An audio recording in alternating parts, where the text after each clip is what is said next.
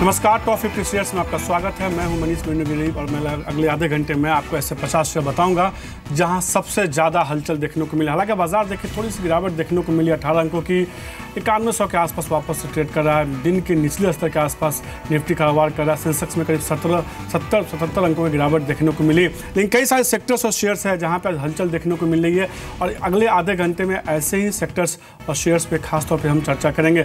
आज के ट्रेड में देखिए सीमेंट शेयर में थोड़ी सी मजबूती अभी बाकी है तो क्या ये मजबूती अब खत्म होती हुई दिखेगी? एक मुनाफा वसूली का मौका होगा। या अभी भी तेज़ी की गुंजाइश है। फार्मा के आज ट्रेंड खासतौर पर देखने को मिला है। दिग्गज फार्मा शेयर में देखिए, दबाव देखने को मिल रहा है, लेकिन उसके उलट जो है, छोटे मझोले फार्मा स्टॉक्स आज के ट्रेड में बेहतर परफॉर्म कर रहे हैं। वहाँ खरीदारी देखने को मिली। केमिकल शेयरों में लगातार उछाल देखने को मिल रहा है और इस शो में रोज़ हम चर्चा करते हैं ऐसे केमिकल शेयरों की, जहाँ पे खरीदारी के सौदे देखने को मिलते हैं। इसके अलावा आज के ट्रेड में देखिए बैंकिंग स्टॉक्स में कहीं ना कहीं थोड़ा गिरावट देखने को मिले। प्रॉफिट बुकिंग कह सकते हैं। डीमार्ट की बम्पर लिस्टिंग हुई, लेकिन असर जो है दूसरे रिटेल काउंटर में देखने को मिला, जहाँ पे हमने देखा था बीते एक डेढ़ हफ्तों में बहुत बड़ी रैली देखने को मिली थी, वहाँ काफ़ी ज़्यादा मुनाफा वसूली अब देखने को मिल रही है। तो डीमार्ट में क्या करना चाहिए? इसके अलावा जो रिटेल स्टॉक्स आज के ट्रेड में गिर रहे हैं, उसमें आपको क्या करना चाहिए? क्या आपको भी प्रॉफिट बुकिंग कर लेनी चाहिए एक बार के लिए? सरकारी बैंकों की बात की, जहाँ पर थोड़ा दबाव देखने को मिला है, और एच पे एक एक्सक्लूसिव खबर आई है, यानी कि आम आदमी से जुड़ी एक अच्छी खबर है, इस पर बात करेंगे। लेकिन शुरुआत कीजिए आज के ट्रेड में कुछ एक ऐसे स्टॉक्स के साथ जो गिरते हुए बाज़ार में भी एक अच्छी मजबूती दिखा रहे हो, खरीदारी देखने को मिला। और सीमेंट शेयर देखिए, वहाँ पे कहीं ना कहीं एक बढ़त देखने को मिल रही है, खासतौर पे JK Lakshmi cement, Prism cement, Andhra cement, Rain Industries और अंबुजा सीमेंट जैसे स्टॉक्स है जहाँ पे आज के ट्रेड में थोड़ी खरीदारी देखने को मिल रही खासतौर पर जेके लक्ष्मी सीमेंट ने पूरी तेज़ी को लीड किया, करीब पाँच की मजबूती देखने को मिल रही है। इसके अलावा सीरीज़ सीमेंट जैसे हेवी वेट स्टॉक्स में भी देखिए, आज के ट्रेड में भी खरीदारी देखने को मिल रही है। आज के जानकार आशीष अंदानी हमारे साथ जुड़ चुके हैं। आशीष, जिस तरह से हमने देखा है कि बाज़ार भले दिन के ऊपरी निचले स्तर पर कारोबार कर रहा हो। सीमेंट स्टॉक आज के ट्रेड में बेहतर परफॉर्म कर रहे हैं। थोड़ी खरीदारी देखने को मिल रही है। क्या राय होगी? JK Lakshmi cement, India cement जैसे स्टॉक्स में, जिसमें हम देखते हैं कि जब भी पुलबैक आता है, एक मज़बूत पुलबैक देखने को मिलता है।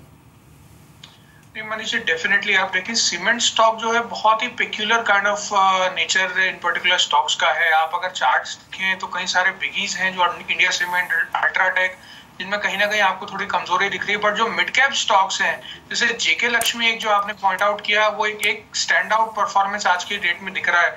तो मेरे ख्याल से इसका सीमेंट सेक्टर से ना रिलेशन होकर कुछ एक इंटरनल स्टॉक स्पेसिफिक ज़्यादा रिलेशनशिप है। क्योंकि अगर आप अंबुजा सीमेंट या बाकी सीमेंट के स्टॉक्स देखें, वो तेज़ी उन पर्टिकुलर स्टॉक्स में नज़र नहीं आ रही है। तो अगर किसी को स्पेक में एंटर करना है तो जेके लक्ष्मी डेफिनेटली बहुत अच्छा पिक होगा क्योंकि गिरते हुए मार्केट में जब हम 90 100 को टच कर रहे हैं, वहाँ पे ये पर्टिकुलर स्टॉक जो ऑलमोस्ट अपने हाइस की तरफ़ जा रहा है और ऑल टाइम हाइस की तरफ़ ये टच कर रहा है। मुझे लग रहा है चार तक के लेवल्स इसमें देखने के लिए मिल सकते हैं। बट ओवरऑल सेक्टर में मैं अभी भी कॉशियस हूँ।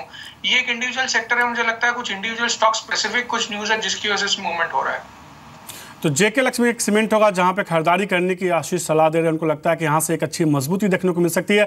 आप इस शेयर पर नज़र बना के चल सकते हैं। हालाँकि बाकी सीमेंट स्टॉक पर उनका नज़रिया थोड़ा निगेटिव है, लेकिन जेके लक्ष्मी सीमेंट उनको पसंद है। करीब पाँच परसेंट की मजबूती के साथ दिन के ऊपरी स्तर पर अभी भी ये शेयर कारोबार कर रहा है। सेकंड हाफ़ के लिए आप शेयर पर नज़र बना के चल सकते बीते सत्र में हमने Ramky Infra Oriental hotel जैसे स्टॉक्स की हमने बात की थी। कल के ट्रेड में बारह बजे में और देखा था कि सेकंड हाफ़ में इन तमाम शेयर में बीस परसेंट तक का अपर सर्किट लगता हुआ दिखा था। कल राम के इंफ्रा दो दिनों का चार्ट देखेंगे तो आप देखेंगे एक बड़ी रैली देखने को मिली थी। आज के जेके लक्ष्मी सीमेंट जैसे स्टॉक्स पर नज़र बना के चल सकते हैं। आज के ट्रेड में देखिए, एक इंटरेस्टिंग ट्रेड देखने को मिला है। छोटे मजले फार्मा स्टॉक्स देखिए पहले आशीष, जहाँ खरीदारी देखने को मिली है और अच्छी खरीदारी है।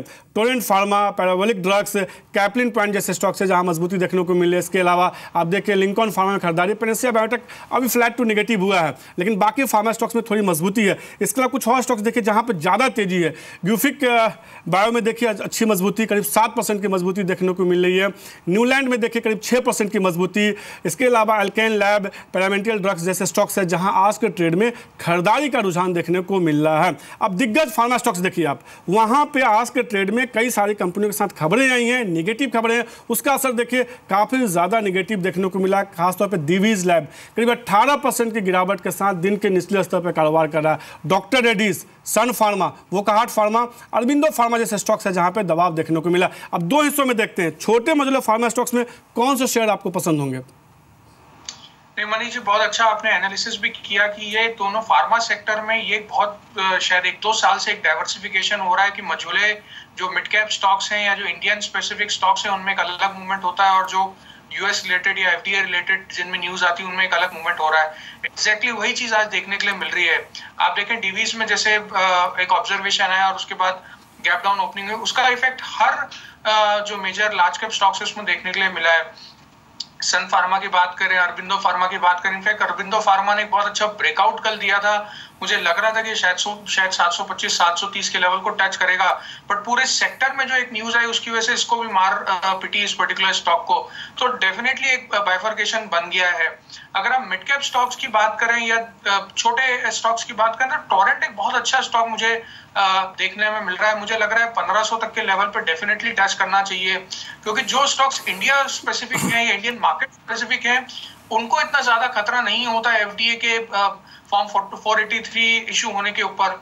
मेरे ख्याल से वही एक थीम प्ले हो रही है पिछले एक दो सालों में जहाँ आपने देखा है कि यूएस या यूके एक्सपोजर जो कंपनीज़ हैं उनको काफ़ी ज़्यादा करेक्शन देखने के लिए मिला और वहीं आप देखिए इंडियन स्पेसिफिक या जेनरिक ड्रग्स जो कंपनीज़ बनाती है इंडिया में उनमें ज़्यादा हाँ, बहुत ज़्यादा वैल्यू हुई है। तो मेरे ख्याल से यहाँ पे आपको टोरेंट फार्मा में पंद्रह तक का लेवल दिखना चाहिए।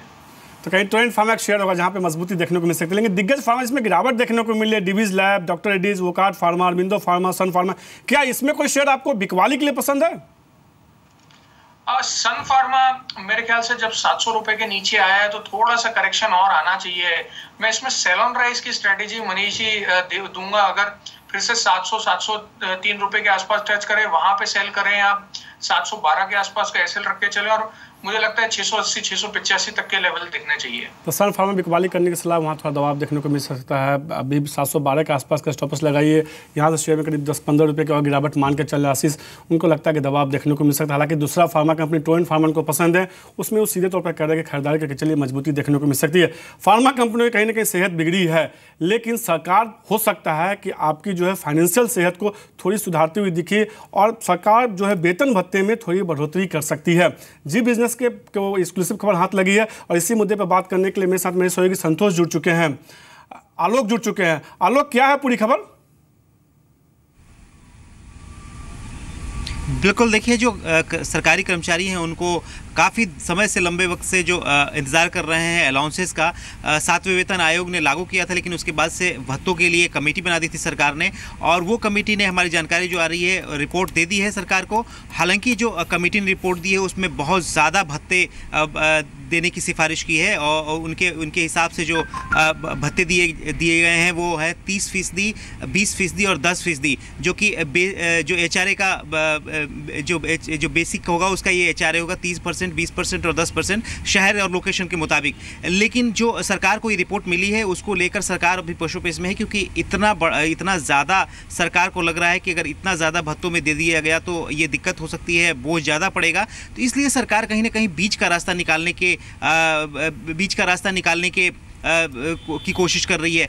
पिछले हफ़्ते जो एक बैठक हुई थी, उसमें इस रिपोर्ट को रखी गई थी। इस रिपोर्ट पर सरकार ने चर्चा की, लेकिन कहा कि ये जो सरकार जो रिपोर्ट अशोक लवासा की रिपोर्ट दी है, वो ज़्यादा है और कहीं ना कहीं इसको थोड़ा सा रेशनलाइज करने की ज़रूरत है। तो जो जो सातवें वेतन आयोग ने रिपोर्ट दी थी, जिसमें सत्ताईस सोलह और आठ फ़ीसदी था जिसमें उसको लेकर जिसको हंगामा हुआ था और लोगों ने कर्मचारियों ने प्रदर्शन किया था तो अब कहीं ना कहीं ये सत्ताईस या तीस के बीच चौबीस या तीस के बीच में कोई ना कोई रास्ता निकल सकता है, सत्ताईस फ़ीसदी भी हो सकता है, हाईएस्ट जो ब्रेकआउट हो सकता है। तो सरकार अभी इस पर विचार कर रही है और मेरी जानकारी है इसके मुताबिक सरकार इस महीने के महीने के शुरू होने से पहले ही इस पर फैस, कोई फैसला लेगी और बहुत हो सकता है कि गुरुवार को जो कैबिनेट की बैठक होने वाली है उसमें सरकार ये फैसला ले ले और जो रिकमेंडेशन हैं अशोक लवासा कमेटी की उससे थोड़ा कम और सातवें वेतन आयोग से थोड़ा ज़्यादा यानी बीच का कोई भी रास्ता सरकार निकालेगी एच पे। इसके अलावा और भी कई सारे अलाउंसेज जैसे ट्रांसपोर्ट अलाउंसेज वगैरह उस पर भी सरकार थोड़ा सा नरम रुख अपना सकती है जो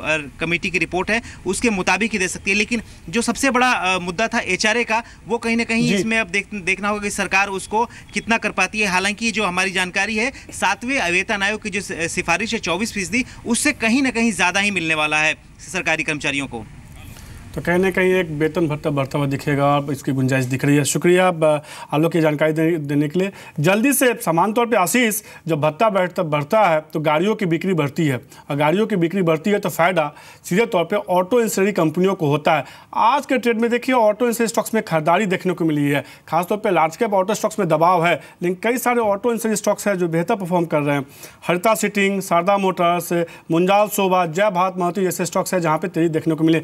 जय भारत भारत मारुति एक ऐसा शेयर है जिसमें मैंने बीते एक डेढ़ महीने से लगातार शो में चर्चा की है, जब ये शेयर 330 350 के आसपास ट्रेड कर रहा था। एक अच्छी मजबूती देखनी होती है। इसमें से कौन सा शेयर आप पसंद करेंगे? और खासतौर पर जय भारत, मारुति पे क्या राय होगी आपकी? डेफिनेटली मनीष जी, मुझे भी कई बार याद है कि मैंने 380 के आसपास आपके शो पे ही रिकमेंड किया था। मेरा 420 के आसपास का पोजिशनल बेसिस पे टारगेट था, जो ऑलमोस्ट अचीव होता हुआ दिख रहा है। बट चार्ट में अभी भी कहीं भी प्रॉफिट बुकिंग के साइंस नज़र नहीं आ रहे हैं।